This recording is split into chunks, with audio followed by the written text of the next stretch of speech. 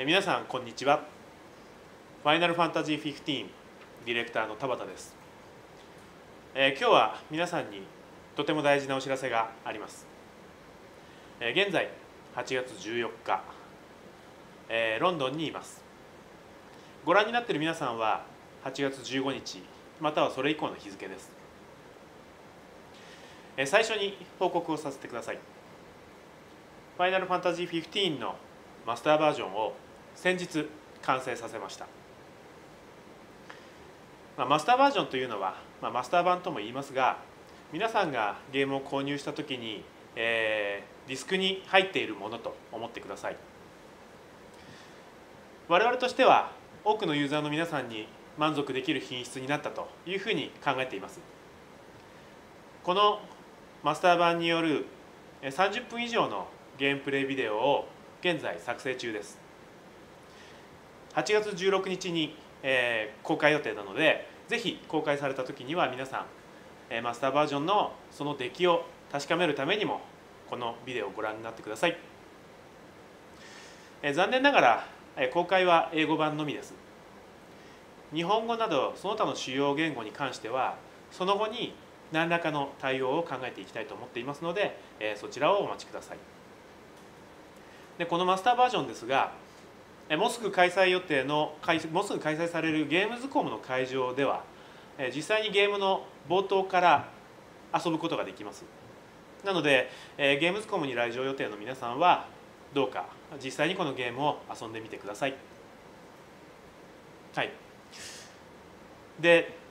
まあ、本題なんですが、えー、我々が目標としていたのは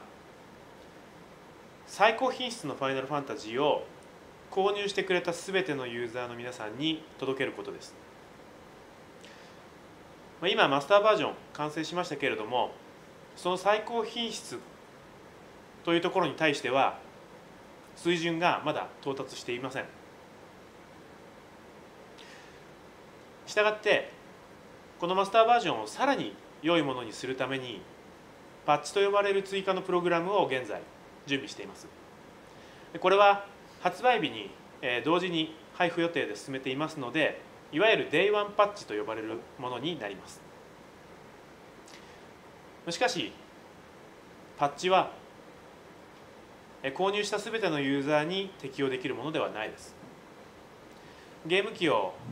オンラインに接続せずに遊んでいる皆さんにはこのパッチを提供することはできません。またこの Day1 パッチは相当充実した内容になる予定ですがそれでも本当に極上の最高品質には一歩及ばない感触もあります。マスター版を完成させて以降ずっとそういうことを考えていました。我々はあくまで購入してくれた全員に最高のゲーム体験をしてほしくてこれまで死ぬ気で開発をしてきましたし僕は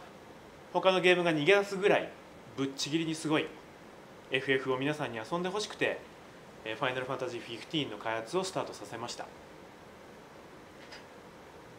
僕がこのマスター版を皆さんにお届けしてはいけないんじゃないかと思ってしまいました。このままこのマスター版を発売してはきっと我々もチーム全員も後悔すると思っちゃったんですね。3月に発表会を行って9月30日にワールドワイド発売とお知らせしましたが、えー、申し訳ありません、え我々にもう少しだけこのゲームを磨き上げる時間をください。ファイナルファンタジー15の発売日は2016年11月29日に変更いたします。現在 Day1 パッチで予定していた内容にプラスアルファをしたものをこの11月29日発売のゲームディスクには全て収録します。なのでオンラインに接続せずに遊んでいるユーザーの皆さんにも僕らが考える最高品質の FF15 をお届けします。逆にオンラインに接続してゲームを遊んでいる皆さんにはこの11月29日のバージョンにさらなるパッチや DLC というものを提供していきたい考えです。毎日 FF15 の発売日を楽しみに待ってくれている方が大勢いることを我々はよく理解しています。そういった皆さんをさらに2ヶ月お待たせすることになり大変申し訳なく思っています。どうもすみません。ただこの2ヶ月で世界中の FF15 購入ユーザーに